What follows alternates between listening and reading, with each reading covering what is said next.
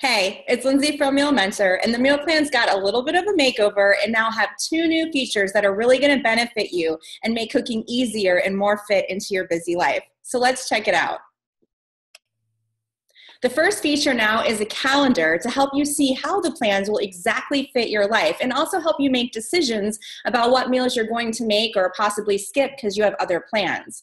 And like we used to have on the old style, there's also still that letter marker for each recipe, which makes the shopping list really easy. So, speaking of the shopping list, ah, the new different coloring makes it really easy on the eye, and every ingredient still has the corresponding letter. So, if you are skipping a recipe, it's really easy to cross out what you don't need. And everything is still grouped together the way it is in the store, so there's no crazy backtracking. You're just in and out super duper fast. Now for the recipes. Not only do they look really beautiful, but everything you need to know about the recipe is right here in the recipe now.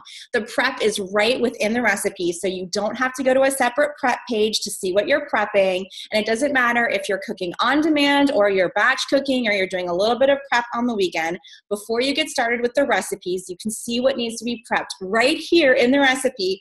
Do that little bit of prep and then get cooking because if you do this prep, if you just do this little bit first and then start cooking, it goes so much faster and it's so less, it's a lot less stressful, less anxiety. It's so much easier if you just do that little bit prep first. So now you'll be really encouraged and you're really set up for success. And this is true, like I said, whether you're batch cooking or you're just cooking at night when you get home, just see what you need to prep, prep it real quick, and then proceed. And it'll just be a much better experience. You'll really love cooking this way. It makes it so easy and it's just, I love it. I've been doing it for a few weeks now. We also have total time and active time so you know how long it'll take and how much time you need to like actually be there versus is it simmering the directions are still step by step and of course we have the nutritional information for you but this is the best part the recipes are now in batch cooking order.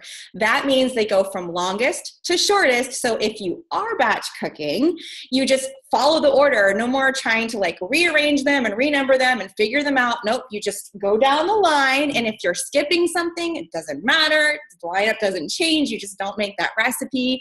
And also, because it's from longest to shortest, if you are having a particularly busy week, you know the recipes towards the end are the fast ones. Or if you have a little bit more time on your hands, then you know to lean towards the recipes at the beginning of the week. And so it just makes it so much easier for you.